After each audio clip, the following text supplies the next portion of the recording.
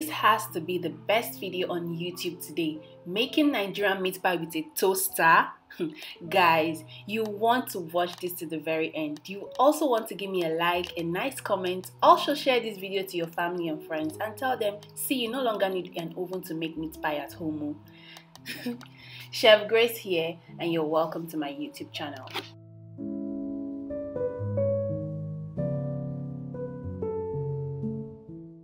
Going to be using the normal meat pie ingredients which are minced beef, Irish potatoes, some peppers, onions, cooking butter, flour, baking powder, seasoning, thyme and carrots.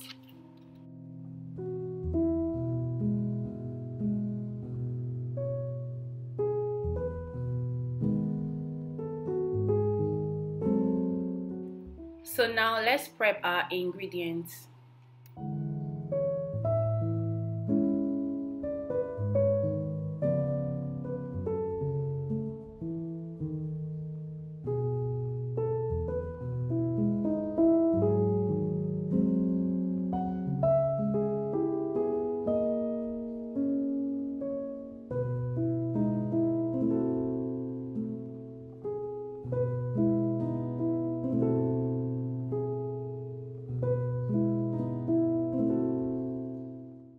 Here I'm mixing one spoon of flour in water to use as a thickener so the fillings will be moist and not dry.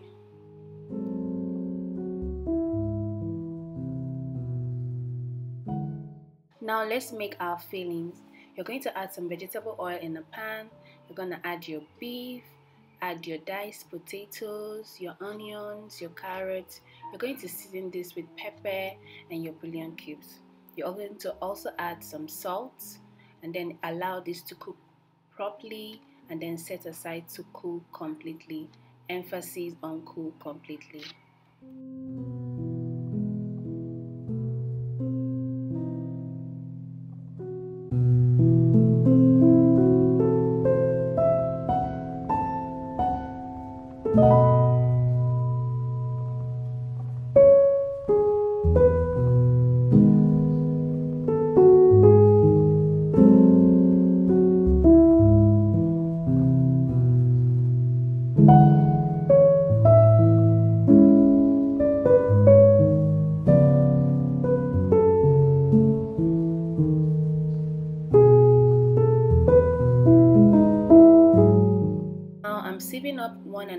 Cup of flour and also add half tablespoon of baking powder and some salt. Yeah so add salt because meat pie is meant to be savory and not sweet. Then i'm going to add my cooking butter and then use my fingertips to mix the butter into the flour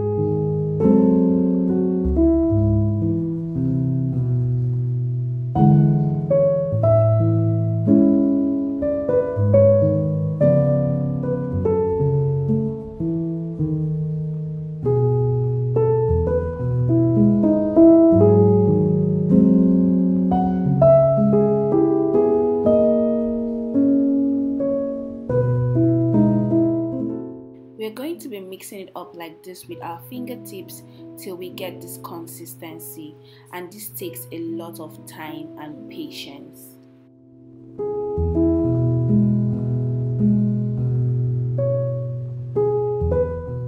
Then we'll be mixing with water or milk if that's what you're using. In bits please because we don't want the flour to get sticky. We want the floor to be soft enough to be walked on but not sticky. I'm sure you don't want that.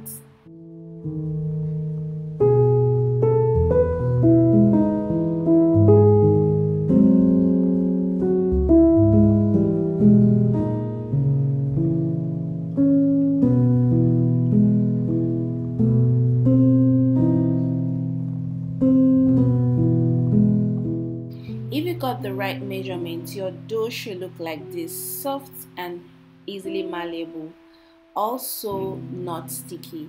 I'm going to cover it up for 10 minutes to allow it to rest.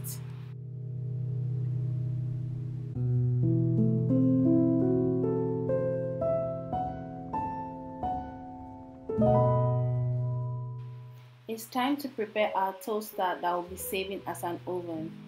Yes, so uh, I'll be oiling the toaster with vegetable oil. You can also use melted butter if that's what you have. Our dough is well rested now, so I'm going to knead this for a while. Then use my rolling pin to flat it out thinly. We want each layer of the dough to be very thin. Depending on the type of toaster you are using, you size your dough according to the shape of the toaster plate. You'll be making the bottom layer and also the top layer. When that is done, you're going to place your fillings on the dough, then cover up with the top layers. If you're new here and you've watched to this point, I honestly, honestly appreciate you. You're the real MVP. Also, please don't forget to click the subscribe button down at the right hand corner. To my oldies, I appreciate your support so much, but you see my like section. It looks really sad. Can you tap on it for me? and also share this good news to people you know will be needing it. Thank you.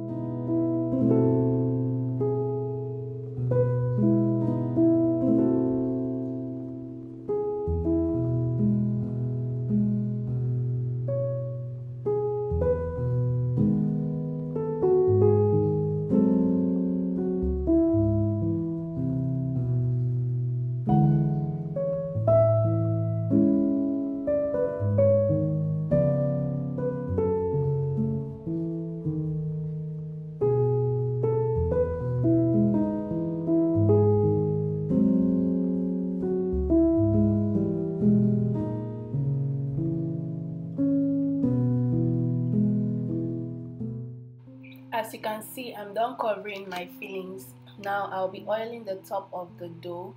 Then I'll plug in my toaster. Then I'll be using a plastic cutter to cut out the lefties um, of the dough from the side of the toaster. Also note if you don't have a plastic cutter please do this part before plugging in the toaster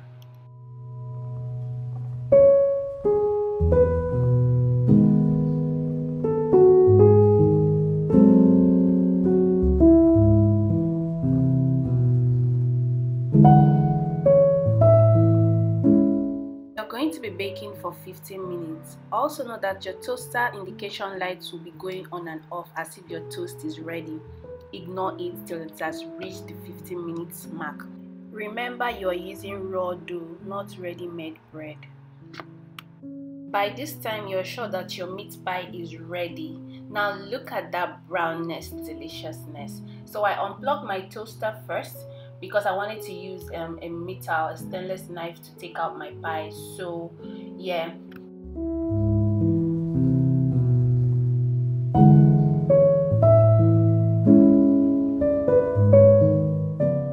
However you choose to serve it, I decided to cut mine into these triangular shapes. Now you're going to allow this to and then serve with chilled Fanta. I hope you enjoyed this video and you're going to try this out. Don't forget to like, share and drop a nice comment. I'm going to see you guys later.